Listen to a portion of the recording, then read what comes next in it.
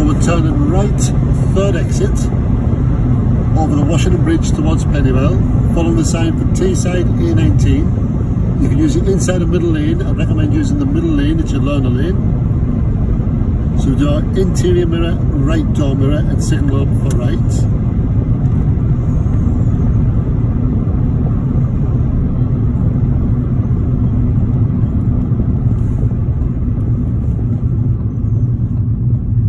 Keep it to the middle lane on approach. So we're turning right, third exit, Teesside A19.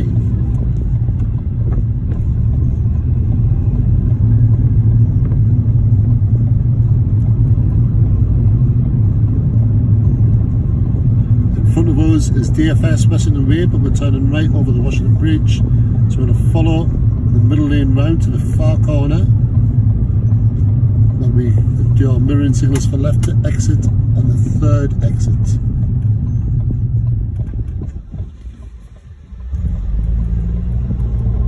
Keep to our left lane, follow the curve down, 50 zone at the moment, just due to the roadworks. And if it's safe to do so, we'll stay in this lane.